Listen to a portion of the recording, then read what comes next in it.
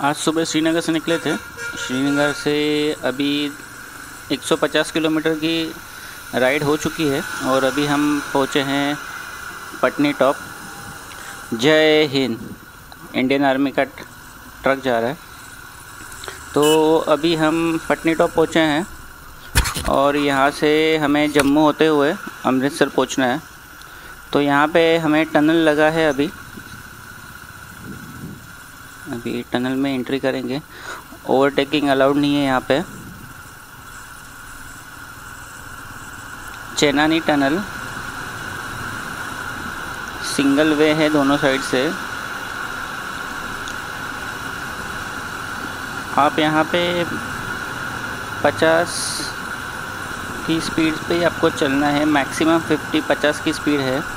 इसके ऊपर आप नहीं जा सकते।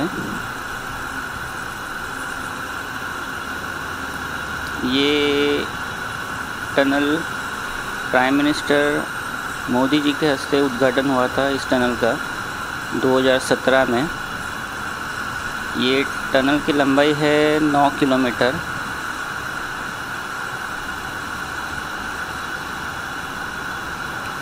टनल के अंदर रोशनी कम है, इसलिए मैंने मेरे फॉग लैम्प चालू कर दिए। है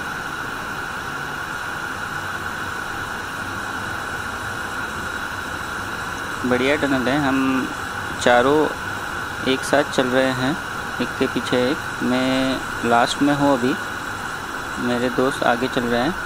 हमने 50 के नीचे की स्पीड पकड़ पकड़ पकड़ के रखी है अभी।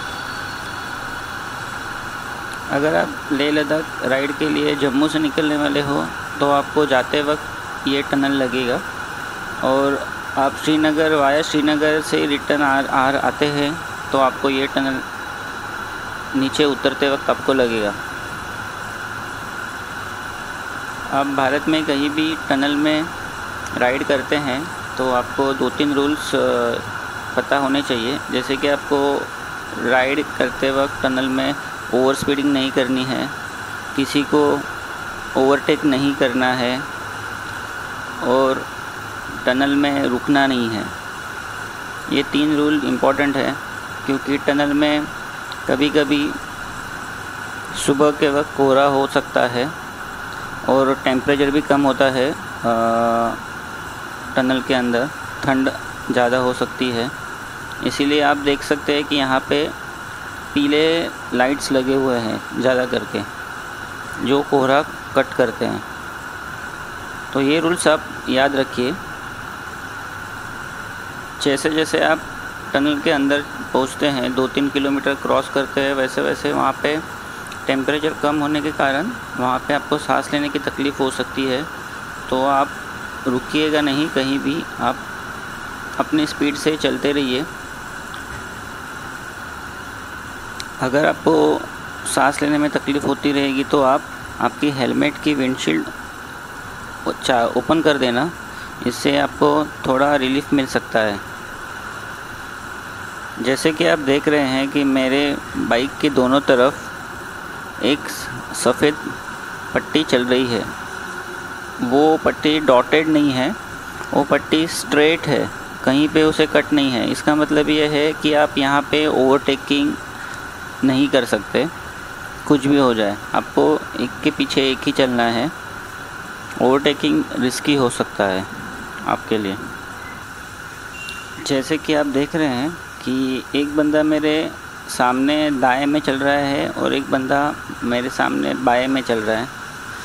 तो आपको भी इसी तरह चलना है अगर आप बड़े ग्रुप में हो तो क्योंकि आप किसी से पीछे पीछे पीछे चलोगे और किसी ने ब्रेक सडनली दबा दिया अंधेरे में तो आपका एक्सीडेंट हो सकता है। तो आपको इसी तरह चलना है। ये सेफेस्ट वे है, तरीका है राइड करने का, टनल में।